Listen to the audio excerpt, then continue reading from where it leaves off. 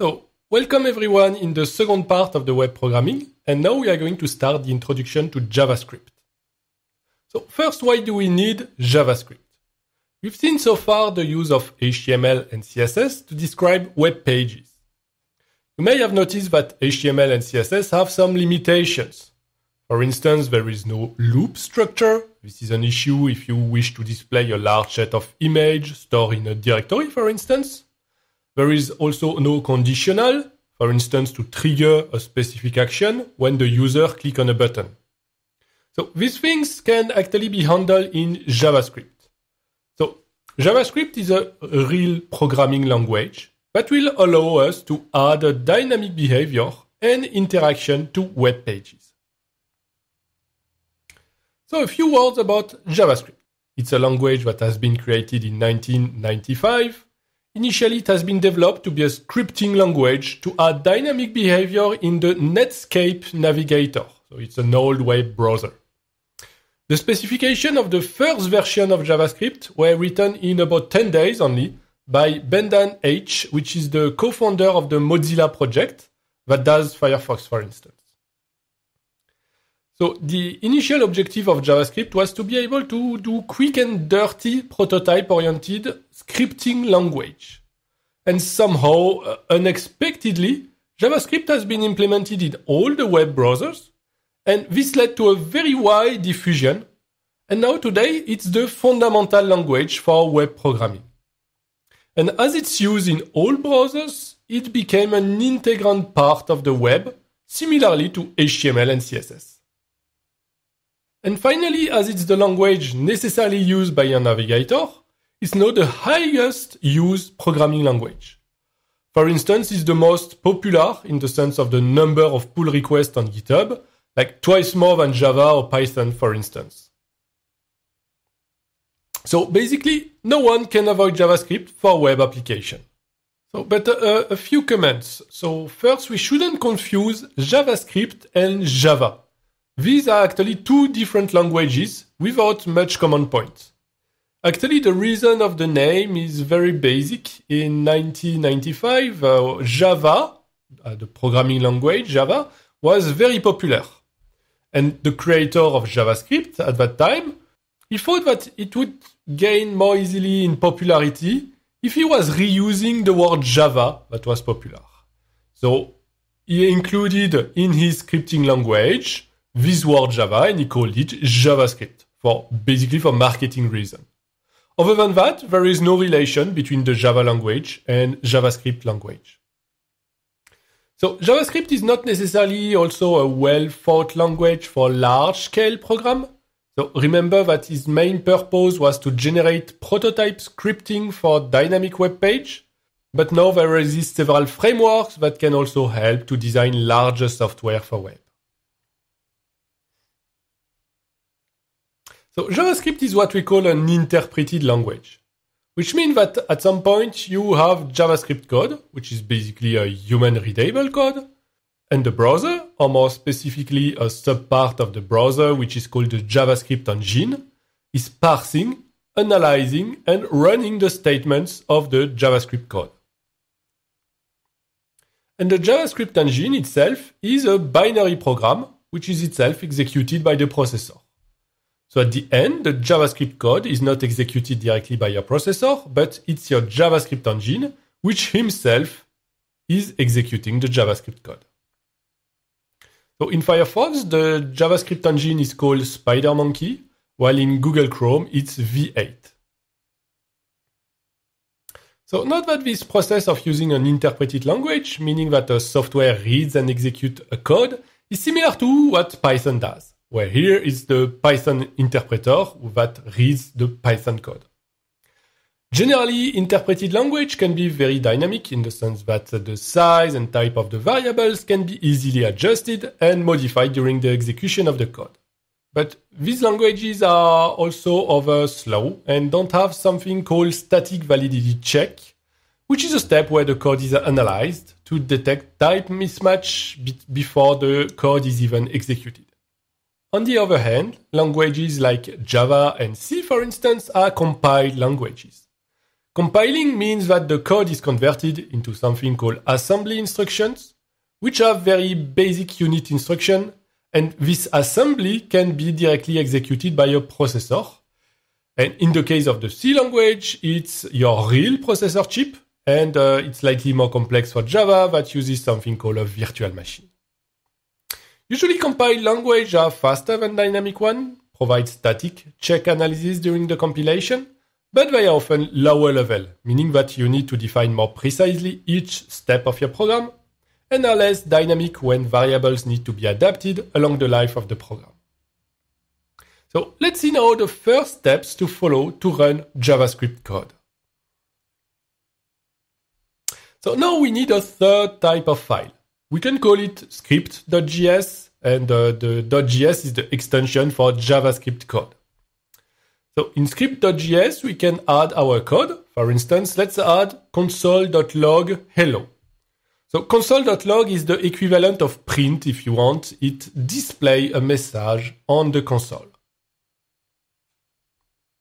Then if you want your web page to run this code, you have to link the HTML file to this file script.js.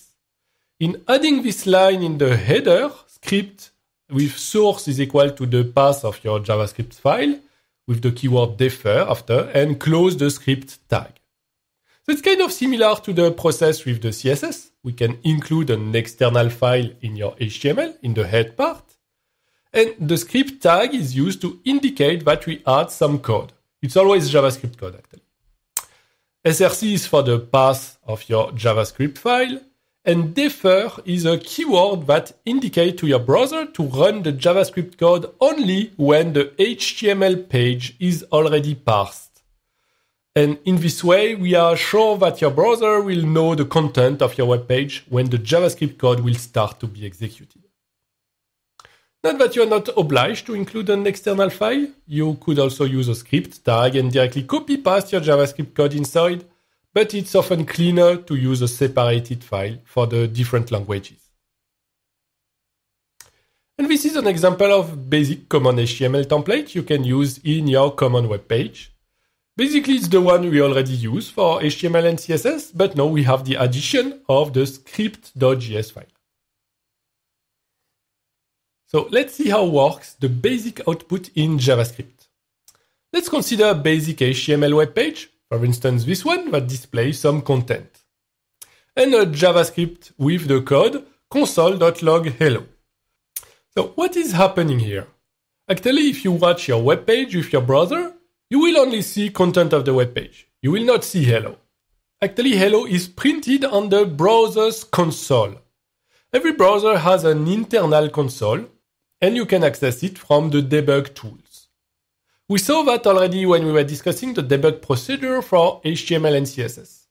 So by default, this console is hidden and you really need to go into the developer mode to see it and see your message print in it. So this console.log is similar to print in Python, but at the opposite of Python, the console is not directly visible. You have to look for it.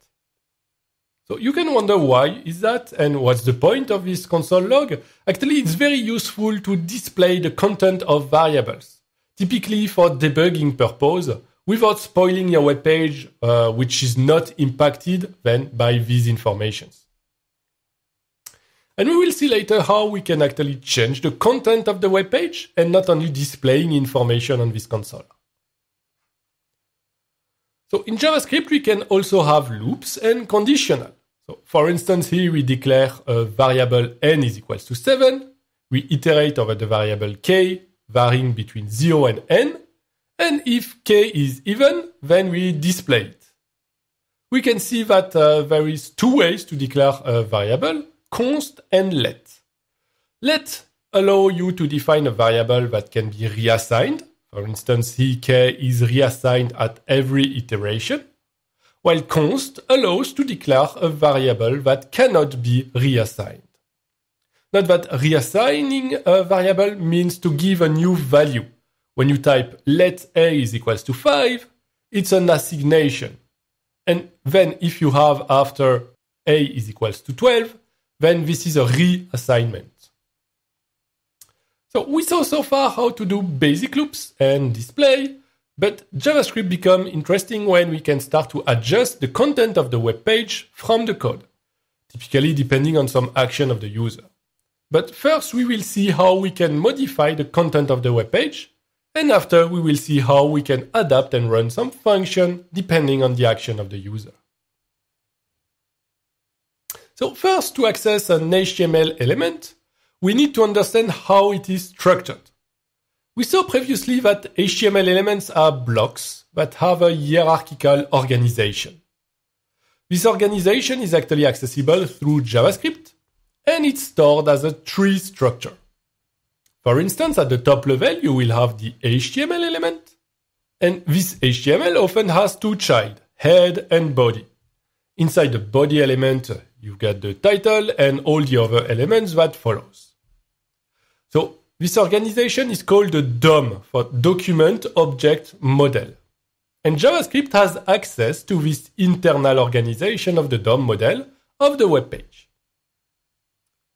Note that this DOM model is also visible in the developer mode of your browser. So if you are unsure about which element is a parent or child of an element, you can look at it in the developer mode. Also, in the developer mode, you have access to the current hierarchy of element. It can actually be different of the HTML source code because JavaScript can interactively manipulate these elements. So if you look at the source code, you will not see the action of JavaScript. While if you look at the element in the developer mode, you can see dynamically the effect of JavaScript on this document model. Okay, so let's see how we can access an element of the document in JavaScript. Suppose we have this HTML file on the left, where I have some title in the h1 tag, and in my JavaScript code I write element is equals to document.querySelector h1. And then I print this element, or more precisely, element.textContent. So if I look in the console, I will see my title, which is displayed. So what happened? Actually, document is a global built-in variable in JavaScript, and it represents the loaded web page. So it's your entry point when you want to access or modify your document. Then document.querySelector is a method that finds and selects an element with a description which is given in parameter. And this parameter follows similar rules than the CSS selector. So if you indicate h1, it will look for any element being associated to the tag h1. And query selector will navigate automatically through the DOM and it will return the first element that matches the parameter selection. And if it doesn't find any element, it will return the null value. In this case, we get a variable that contains the information associated to the h1 element, and the field text content gives access to the text inside the tag. So we see that uh, we can access the text, but we can also modify it from JavaScript. For instance, if we want to display something based on some dynamic action. So in this example, we have the same HTML code with title inside the h1 tag. And then in the JavaScript, we query the same element, and then we modify its text content with a new line of text. And then when we look at the web page, now we see modified in JavaScript as a title. So basically it means that the content of this element has been modified by the JavaScript code. Of course, modifying a title like that is not very interesting in itself. Something that can start to be more interesting is to generate automatically a lot of quasi-similar content. Sometimes you want to create lots of paragraphs with procedural information that could be generated from an automatic loop.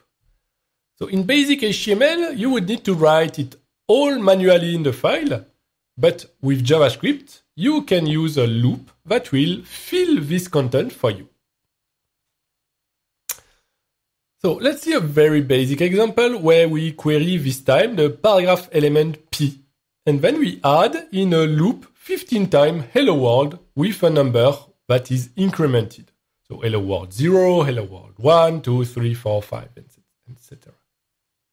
So one thing is with using text content is that we can only modify the plain text inside an element.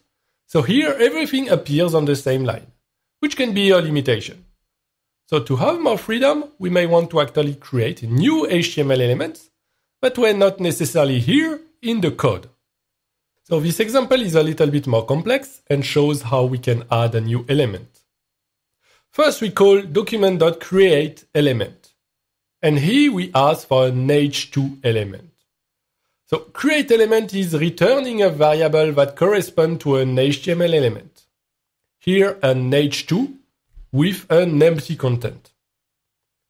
Then we can set its content. So here some created title. So at this point, we've got this variable, new element. It's an h2, but it's not yet inserted in the document object model in the DOM.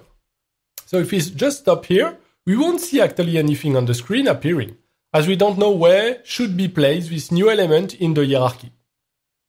So we actually need to insert this element in the hierarchy of the DOM. For that, the principle is always the same we need to define which element is going to be the parent of this new element in the current DOM. And then we can add this new element as a child of the designated parent. So here's the syntax. We query the element. Here we choose that the parent of this h2 element would be the body. And then we use the appendChild method on the parent and with the new element as a parameter.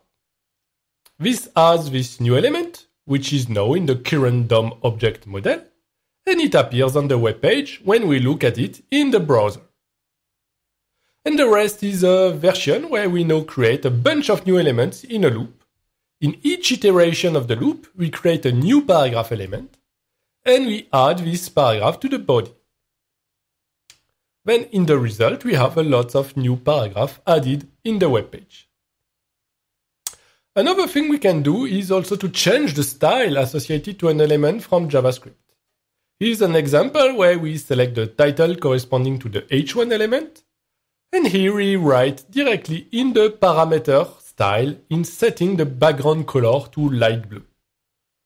What we are doing is that we change the style property of the element using a CSS type of syntax. And we write the string corresponding to this syntax. And similarly, we change also the color of the word in the EM tag to red.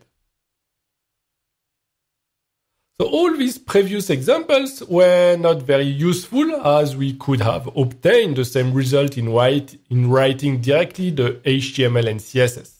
So now we are going to see how we can handle the user events, which are typically the click or the motion of the mouse, and thanks to that, we are going to be able to add some more interesting behavior to our web page.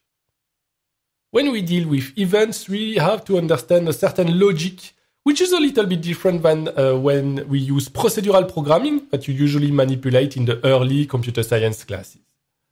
So we call this event-based programming, which is how to program code that handle reaction under the action of the user.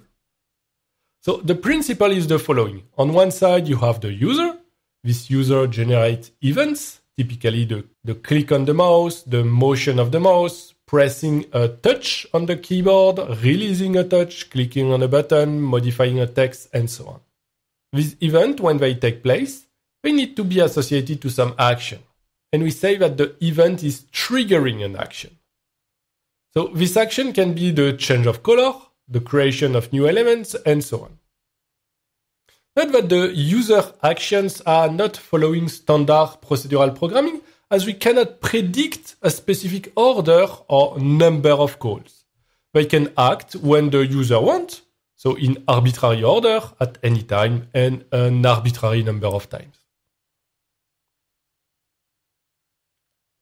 So to handle the fact that user events can happen at any time, we say that we listen to some events, meaning that there is a system that regularly check if a user event has been performed. Not that you cannot use a simple infinite while loop waiting for an event, otherwise your program would freeze waiting for it. So you need to listen for an event without blocking the execution of the rest of the program. And JavaScript propose pre-made system for that. In particular, it proposes built-in listener. These listener, they are non-blocking functions that wait for an event to happen. And internally, this function can be implemented as a stack of events in a loop or using signal approaches using threads, but we won't go into these details. So in JavaScript, the syntax to add a listener on an element is element.addEventListener with an event name as parameter and some function. So this function that needs to be attached to the listener is called a callback function or an action function. So we saw that the listener was waiting for an event. Now every time an event is detected, what is doing the listener? So it basically call a function. This callback function or action function, which is basically a function that the developer has to create and that contains the code to be executed when the event has been detected. So now we have the full approach. We have a listener that is waiting for an event.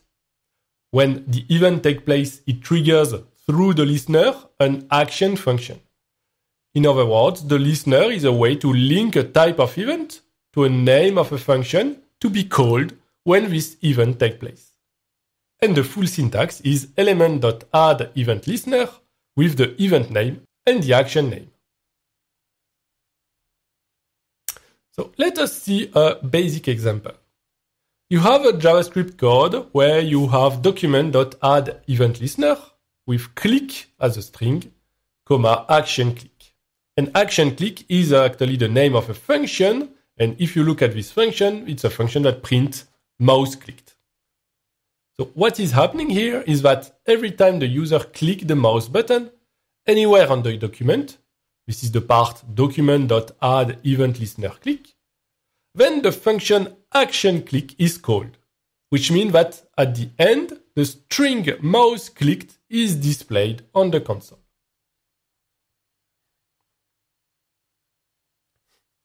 Now we can easily adapt this code so that instead of displaying the message on the console, we actually create a new paragraph in the web page with the text mouse click. And now every time the user clicks somewhere, the web page displays mouse click. If you look at the code, you will see that the action function receives a parameter. I name it event, but you can name it as you want. In this parameter, you actually receive some extra information associated to the event. For instance, in the case of the click event, we can retrieve the information on the button which is clicked, the left or right button, and the position in pixel on the window using event.clientx and event.clienty. Then I display the result and every time we click, we also have the coordinate, now x and y, of this click expressed in pixel coordinates. In this example, we apply a modification on an element when the user click on it. When we click on the title, the content change into title clicked. To do so, we select the element h1 using document.querySelector and then we attach the listener on a click on this h1 element. This time the listener is not attached to the entire document, but only to the h1 title. And then we set the callback function to be action title click. So now when the user click on the title, the function action title click is run. And in this function, we see that we change the content of the text of the title. And it's the same process with the box. We query the box. We attach a listener on the click event. And we set the callback function to be action box click. So now if the user click on the box, this function is called and we change the style of the box to have a blue background color. And here is an example where the user can click on the balloon. And then the balloon on which you click explode. So to do this page, you display three balloons as an image, and for each of them, you attach a listener on the click. this listener calls a function action explode that changes the source image to another image, the one with the exploded balloon. So here you can note that there is only one function. We don't need three different functions for each balloon. Actually, in the function action explode, we have access to the element on which the user clicked with the variable event.currentTarget. So this corresponds to the element at the origin of the action. So if we change the source property of this element, we are basically changing the source of the image. And we can even generalize this principle in generating a lot of balloons in a loop and attach this property to all of them. And uh, we can do this with very few lines of JavaScript code.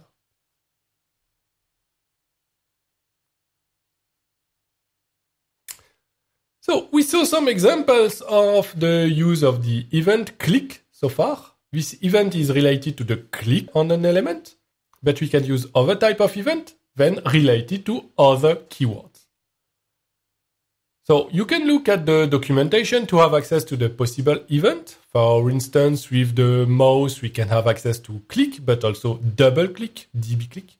The mouse move, which is triggered every time the mouse is moving or wheel for the usage of, of the mouse wheel. Uh, we can have the keyword key down and key up for the keyboard.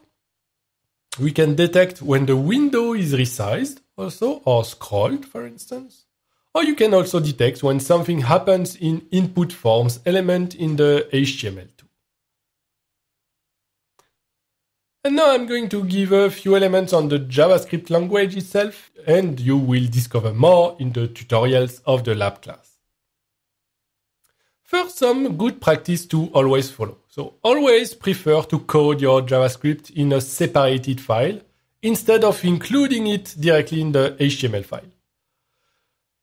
Like that, you separate the role of the HTML that describes the static structure of the page, the CSS, which is the appearance of the elements, and the JavaScript, which is the logic of the dynamic behavior. Also, always use the keyword defer when loading the JavaScript file.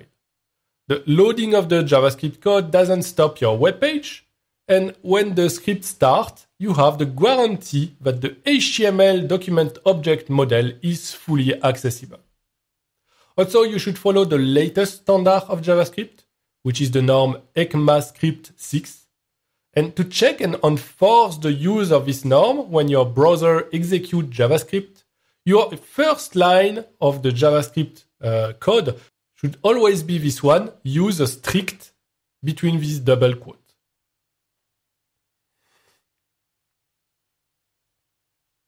So when you declare a variable, there is three different keywords that uh, you can use. const, let, and var. So const is a variable that cannot be reassigned and has a block structure.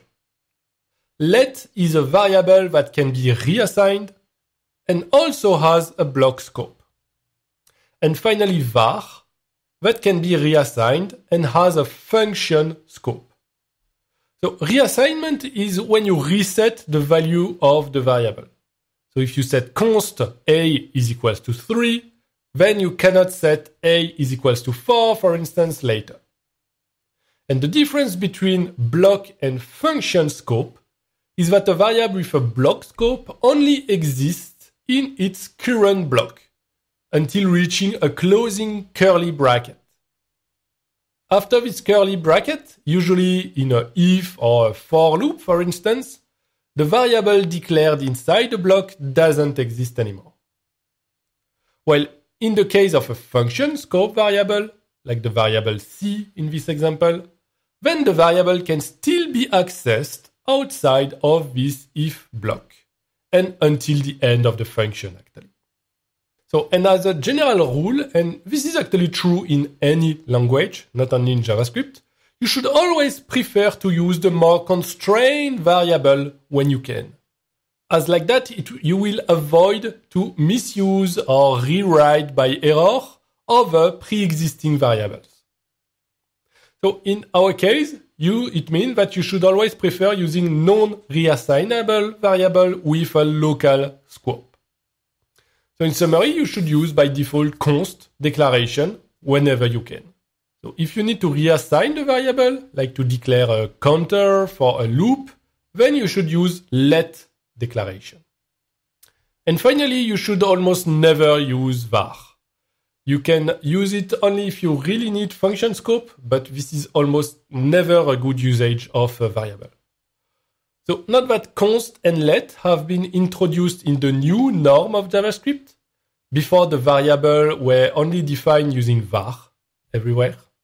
So when you look at internet code, you may find var variable, but try to take the habits of removing this outdated style. Uh, it can help you to have less bugs at the end in your code.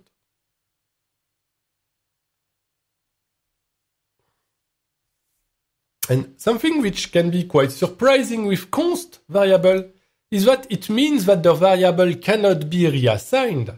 But it doesn't mean that the content of the variable cannot be modified.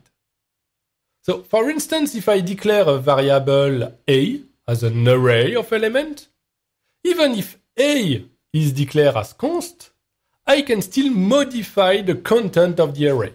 Like a at 0 is equal to 8, a at 1 is equal to a at 2 plus 4.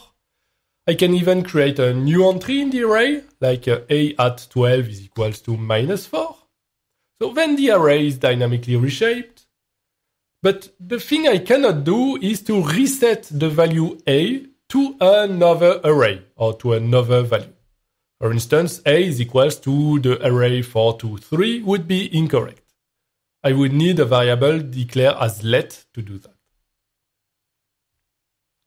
So it's not necessarily a good thing because it means that in JavaScript, we cannot really enforce a variable to have a constant content but it's what the language is offering us so far.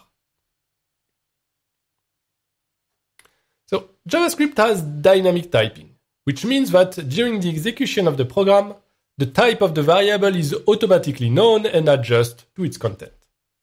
It's actually very similar to what Python does, for instance. So if you declare a is equals to 5, then a is a number, and uh, if you have b is equals to 4.12, it's also a number. C is equals to the quote some string, end of quote, means that it's a string. And D is equals to 7452 is an array. So the types can be changed dynamically. For instance, I can declare A to be 5, and then later A is equals to a string bear. So now it became a string. So in an array, it's similar to a Python list, I can have a type inside, like a number, followed by a string, followed by itself by another array, and so on. So, but even if you can reassign the same variable name with different type, you should try to avoid it as much as possible. In good practice, always try to use one variable for only one type of content in a given context. Otherwise, your code will become very hard to read. Actually, JavaScript variables can be seen very generally as a dictionary. Everything at some point is a dictionary, meaning that it's a set of properties and value pairs. And we can define a row variable like that. Let p is equals to curly bracket with the set of property names and value. For instance, x is 1, y is 3, and uh, then you can access the property x as p.x, and similarly with y and you can add dynamically new property to this variable. We also saw that uh, you can define functions in JavaScript. Again, functions are typed dynamically and they can return a value, but it's not an obligation. It's also similar to Python. To define a function, you can declare them with the keyword function, then the name of the function, and finally the set of parameters. To return a value, you have the keywords return. If you have multiple parameters, you simply add more parameters in the declaration. Function can be stored in variable in JavaScript, and like that, you can rename or adjust which function you use if you need to switch between several possibilities. Finally, you can also sometimes see a shorthand to declare functions inline. Parenthesis with the parameters, arrow, some value. It means that it's the function that take a parameter named x in this case, and it returns the result, which is computed after the arrow. And it can be, this syntax can be useful when you need to declare small specific functions, but don't abuse also of this notation to let your code clear. And finally, a last word about the sometimes surprising specificity of JavaScript. You have already saw that in programming in general, it's common to use equal for an affectation, while equal equal is to test an equality between variables. So equal equal exists in JavaScript, but there is also a triple equal, equal equal equal.